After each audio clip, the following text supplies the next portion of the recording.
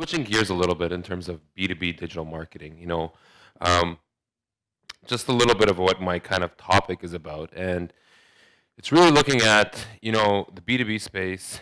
Um, clearly, I work at 3M, as you can see in my presentation at the top, but it's a journey that we're experiencing, and a lot of organizations are experiencing this. So I kind of want to share a little bit about what that journey has been for us and what we've kind of accomplished. So before we get started, a little bit about me.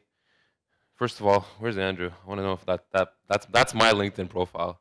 Does that work? that's a picture at least. So, anyways, um, a little bit about me. I was born and raised in Saudi Arabia. I moved to uh, moved to Canada in 2004 in Ontario, specifically London. Uh, I graduated from Fanshawe College and uh, married for four years. I have a young boy who's almost two, and he keeps me on my keeps me busy, as you can imagine. Um, but I've been working at 3M uh, for just about six years now, focused solely on digital marketing. So, switch gears. Let's jump into what I want to talk about today. So, I mean, like I said, it's a journey that I want to take you on in terms of what we've been experiencing. But these are a few topics that I want to cover on because these are topics that have resonated very, very well with us as an organization. So, target audience relevance, uh, digital tools, as well as disruptive technology. So, before we do that, I'm just going to share with you what my business looks like. You know, 3M is a very, very complex organization, and I work in one business of many. So the business that I work in is personal safety. It's the personal safety division of 3M. So we manufacture and we sell safety products to different industries, you know, automotive, construction, oil and gas, mining, you name it, healthcare. And the products that we sell are from respirators, hearing protection, fall protection, um, um, head protection, face protection, you name it, eyewear. So the, the, the products that we sell seem pretty straightforward, but when you, when you take it from the approach of B2B, here's where it gets a little complex.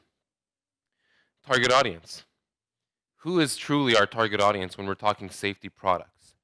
You know, within our space, or what we've what we've been learning is that within the B2B space, it's the the the customer is changing. It's change they're, they're changing every single day, and what we what we knew in the past is completely different than today. So, for example, the customers are coming to the table a lot smarter than they have been. They're equipped with information. They're clearly doing their research ahead of time. They know the products that we're selling. They know our competitors, and when they want to purchase the product, they want to purchase it in real time. So again, taking a step back, we're a very, very traditional business. We manufacture and we sell the safety products to a distributor who then resells it to the customer. So where do you play in this space? Like, how do you figure out who are who your audience is, right? So this is this is kind of what I like to look at. What, what I tell my marketers all the time is, who are you actually hollering at? Like, you know, in our space, we have three different target audiences that we're going after, not just one. It's not just the person who's wearing the respirator or wearing, you know, the harness or is working at height or working underground. We have three different audiences. So the first one is the purchaser, the one who's actually purchasing the product directly from the distributor. The distributor is the second target audience, so the one who's purchasing the product from us. And the third one is the sales rep, the one who's actually selling the product. So purchaser, distributor, sales rep. That's those are the three target audiences that we're looking at. Now when you dive a bit deeper and you talk about relevance. So now we know who our target audience is, but how do you resonate with these people differently? And with digital marketing, it's it's really about delivering, you know, tools or technology that that's going to be relevant and resonate well with these audiences. And at the end of the day, we can't have specific plans focused on each one of these people. So what I always tell people is that it's not about, you know, whether whether you're delivering it through web, through email, through social, how do you actually determine what's relevant to these people? And it really comes down to one thing. But before I jump into that, I'll talk. I'll talk. I'll give you a little example. So, a sales rep, they may want a tool from us that can help them sell better, or help them talk about the product in front of the customer. A distributor might want to get information from us quicker to promote the product, you know, to receive information in digestible format so that they can, you know, spread the message that hey, 3M has this new product, so on and so forth. And then purchaser whose majority of the time is, is you know, within our space, it's going to be an industrial hygienist, a safety manager, someone who's responsible for people's health and safety. And what they're usually looking for is, You know, am I, I need to buy personal protective equipment that's going to make sure that my employees are comfortable while they're working and they're staying safe. So when you stop for a second and you look at it, I mean, we kind of look at it from, from an organizational perspective is what do all three of these people have in common? You know, safety products, a purchaser, distributor, a sales rep, and even us as an organization. When you take a step back and you look at the core, and this is what I call the sweet spot. What is the sweet spot that we all have in common when it comes to safety, safety products? Is at the end of the day, we want to do two things. We want to reduce injuries, and we want to save lives. Because that, that's what it's all about. We want to make sure that they're getting the right protection they need so that you know they don't fall from a building or they don't you know they're not breathing in the wrong the wrong um, gas or vapor or whatever it is or they're not damaging their hearing long term. And that's the same thing, whether it's a distributor, whether it's us, whether it's a sales rep, um, it's it's all the same. They all want to focus on that. So this changes changes the perspective. Once you determine what that sweet spot is, you can then say, you know, what are the tools that I can use to determine that? You know, to to have that shared message when I'm speaking to each of these people, and I'm usually speaking to them all at the same time. So 3M is a very complex company, as you can imagine. And, and, traditionally, what we've been doing is we've been we've been going out the market in a very PhD format, tone of voice, if you will. Um, and what I mean by that is, we speak to the safety world as if they have 30 years experience, or 20 years experience, or have been doing it for a really long time, and we expect them to know, you know, what we're talking about.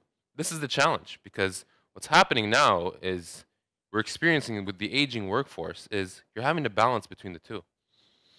You know, you're having to balance between digital and traditional. So you can't just shift gears and go directly digital or shift or, or stay completely traditional. So that's where it gets a little tricky. So this is where it comes down to, you know, what is the platform that you want to deliver? Digital tools versus web. Everyone wants the best website. Everyone wants to have the best website. You know, I talk to my marketers all the time. We're just going to have a killer website. We're to drive to the website. They're to do whatever it is they need to do. But the reality is, in this day and age, is you have to play in multiple spaces. Oh, lost signal. Yeah, no worries. So you have to play in multiple spaces. At the end of the day, it comes down to, you know, how do you reach the audience or how do you play where they're going to expect you? So, for example, purchaser might be looking for an app that can help them. Um, uh, a distributor might require an email. Send me something. Send me something that I can send to my customers to promote your product. Um, just trying to think of some other examples, but it, it, it, it there's a lot of different areas that you can play in digital marketing, especially from the B2B side. So it really comes down to how do you choose what the right what the right option is. And are we okay?